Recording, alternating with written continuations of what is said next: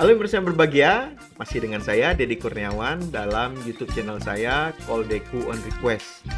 Uh, seperti biasa, saya Deku akan menjelaskan, memperkenalkan dan mendemonstrasikan berbagai aplikasi menarik yang dapat digunakan untuk uh, memperkaya kegiatan pembelajaran kita secara uh, daring. Nah, masih dalam Call Deku Moodle Series, saya akan melanjutkan tutorial saya dan kali ini saya ingin uh, mencoba untuk menjelaskan tentang penggunaan files ya. Uh, jadi uh, dalam bentuknya yang paling sederhana, uh, Moodle itu dapat digunakan untuk atau di sebagai tempat untuk meletakkan materi-materi uh, pembelajaran. Jadi yang paling umum itu yang saya lihat adalah bahwa sekurang-kurangnya sebuah Moodle course itu dia akan mengandung materi-materi pembelajaran yang bisa di-download, bisa dibuka, bisa dibaca oleh siswa kapan pun dan di mana pun dia berada. Nah, oleh karena itu, uh, pada bagian pertama ini saya akan mengenalkan satu jenis resource yang kita sebut sebagai file yang tersedia pada uh, Moodle. Baik, uh, tanpa berpanjang lebar, kita akan langsung saja masuk ke tutorial kita. Nah, seperti biasa, kita akan mulai dengan masuk dan login sebagai teacher di kelas kita, ada kelas yang sudah saya persiapkan uh, pada tutorial sebelumnya. Oke, kemudian kita masuk ke kelas dan uh, saya ingatkan kembali bahwa di dalam Moodle 4 itu uh, mode editnya sudah tersedia dengan lebih uh, gampang dilihat yaitu kita tinggal mengklik edit mode maka uh, aplikasi atau kelas ini sudah siap untuk ditambahi dengan resource. Uh, sebenarnya ada beberapa cara untuk uh, mengupload file ya uh, di Moodle. Uh, salah satu yang biasanya paling umum dilakukan adalah dengan mengupload dengan menambahkan aset di sini. Jadi uh, misalnya saya di week 1 saya ingin menambahkan satu file uh, baru ya, nah, maka saya tinggal klik add activity or resource ya. Kemudian nanti akan muncul uh, kotak dialog ya. Nah, uh, kotak dialog ini sudah sama dengan uh, Moodle 39 sampai 311 itu dia sudah mulai dikelompokkan ke dalam activities atau resources ya. Pada Moodle versi sebelumnya itu masih agak sedikit lebih tradisional ya, jadi agak berbeda.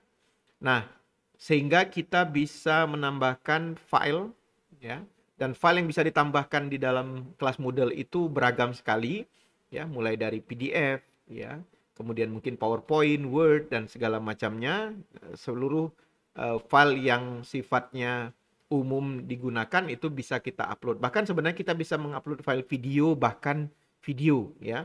Tetapi tentu saja ini bukan praktik yang baik menurut saya karena uh, dengan menggunakan file-file yang ukuran besar seperti itu nanti akan membebani resources pada Moodle. Maka saran saya biasanya file ini ya kita masukkan saja file-file yang sederhana, tidak terlalu besar, misalnya PDF, ya, atau Word, atau PowerPoint, ya, atau yang setipe dengan itu, file uh, productivity lah, seperti itu, misalnya file Office, ya, dan kawan-kawannya itu.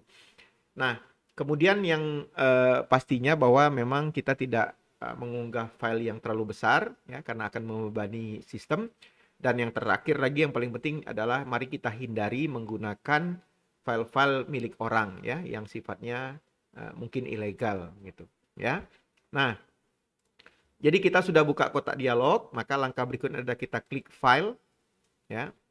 Kemudian uh, di sini yang perlu kita lakukan itu paling sedikitnya adalah memberikan judul misalnya uh, saya tulislah misalnya filenya misalnya material one ya. Saya saya kasih judul ya Nah, kemudian di bawahnya kalau mau ini tidak wajib ya, kita bisa memberikan description ya, bisa memberikan penjelasan ini apa isinya. Misalnya uh, introduction ya to phonology misalnya ya. Saya uh, ya kita buat saja contohnya itu. Kemudian yang berikutnya adalah select files. Ada banyak cara ya. Mungkin Anda yang terbiasa dengan drag and drop itu bisa melakukannya misalnya dengan cara uh, apa mengambil filenya dari satu tempat dari folder apa kemudian kita tarik ke sini itu itu yang biasanya kalau saya sebenarnya paling gampang tetapi kadang-kadang sebagian kita juga lebih suka dengan cara yang lebih tradisional. Jadi tidak pindah-pindah aplikasi karena mungkin merepotkan ya. Nah, maka cara yang dia yang biasanya saya ajarkan adalah menggunakan tombol add di sini. Jadi ada gambar kertas, kita tinggal klik add. Kemudian choose file ya. Nah, kemudian misalnya saya di sini punya oke, okay, saya punya file ini kita file sembarangan aja ini file PDF. Saya tinggal klik ya. Ini kalau sudah uh, tertulis namanya berarti file ini sudah uh, terupload, uh, sudah siap untuk diupload ya. Tinggal kita klik upload this file. Oke. Okay? Nah, kemudian langkah berikutnya adalah save and return the course. Seperti ini. Maka filenya itu sudah terletak di sini ya. Seperti yang saya jelaskan uh, pada video awal saya tentang Moodle 4 uh, setiap jenis aset yang dimasukkan ini dia diberi label sesuai dengan nama aset. Jadi file di atas kemudian ini judulnya. Ya. Nah, judulnya. Jadi kalau diklik nanti maka otomatis dia akan terbuka seperti ini. Ya. Nah, oke, saya balik saja dulu. Nanti kita akan lihat. Saya ingin kembali dulu ke settingnya.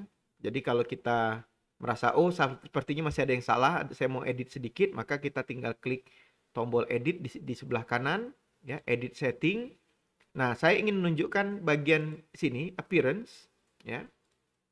Nah appearance ini uh, dasarnya adalah uh, pilihan defaultnya adalah automatic jadi kalau automatic itu seperti tadi begitu diklik dia langsung membuka file itu di halaman uh, sebenarnya di tab yang sama ya jadi sebenarnya begitu dibuka file itu uh, siswa kita akan keluar dari sistem Moodle-nya gitu. Jadi kalau untuk balik lagi dia harus klik back gitu seperti itu. Ya. Maka ada sebenarnya ada banyak lagi mekanisme misalnya di sini ada embed namanya. Nanti kita akan praktekkan. Embed itu artinya file yang sudah dibuat ini akan bisa langsung dilihat dalam sistem. Jadi dia tidak keluar, ya. Tapi saya tidak yakin kita bisa lakukan dengan PDF. Biasanya yang jalan itu dengan uh, file uh, PowerPoint ya, tapi nanti kita coba saja. Kemudian kalau kita mengklik force download ya itu dia akan otomatis begitu diklik dia akan download otomatis. Ya filenya terdownload sementara sistemnya tidak uh, tertutup. Jadi masih tetap terbuka modelnya tapi dia langsung mendownload file itu ya. Dan mungkin ini cara yang cukup efektif deh. Saya, saya pikir bisa juga kita gunakan uh, force download ya kemudian bisa juga open kalau open itu berarti dia akan buka tab baru jadi uh, course Moodle course-nya masih tetap terbuka tetapi kita punya tab baru untuk membaca filenya. Ini juga tidak apa-apa sebenarnya. Atau dengan pop up. Pop up itu artinya terbuka tab baru tapi dengan ukuran yang lebih kecil dan sifatnya ya pop up gitu ya, keluar gitu. Nah, saya ingin coba dulu yang embed.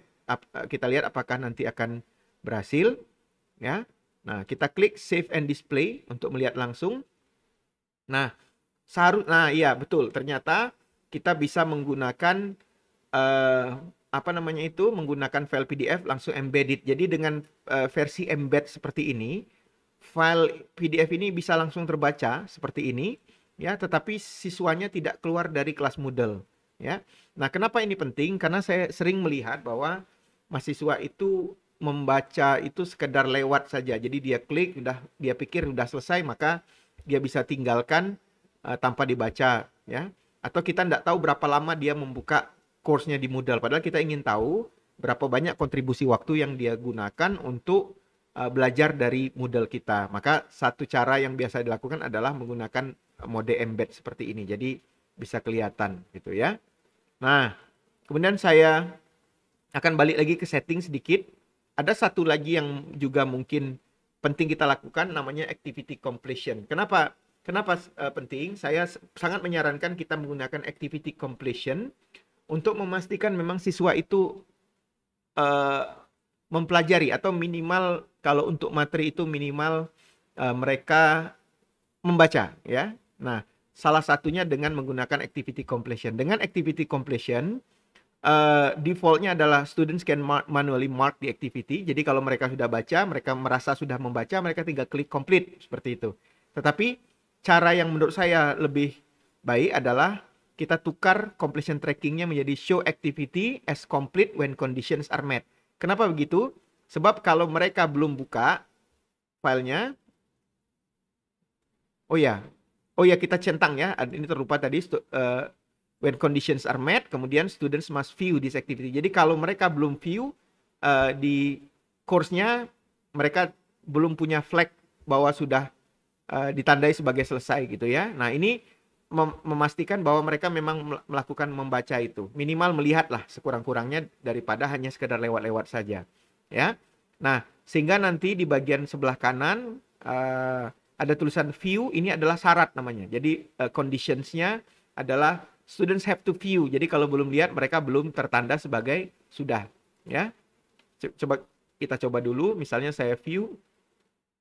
Ya, Oke, nah harusnya ini tulisan view ini akan berubah warna menunjukkan bahwa dia sudah memang betul-betul sudah dibaca. Kita coba dulu sekali lagi.